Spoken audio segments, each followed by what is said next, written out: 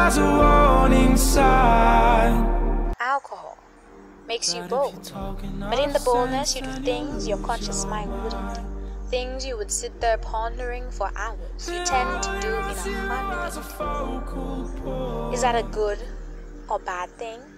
I guess it depends on what you do. Because when the alcohol dies down and the emotions set in, you ask yourself, are you ready to deal with the consequences?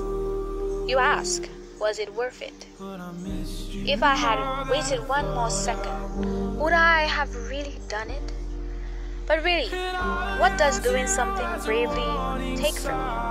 Alcohol doesn't make you do things that you've never thought of before, but rather it simply opens up your mind, merging your subconscious with your conscious to the point you can no longer identify reality.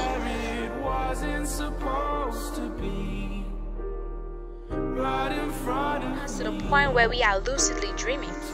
On the bridge of fantasy and reality, where we are unstoppable, where we are kings.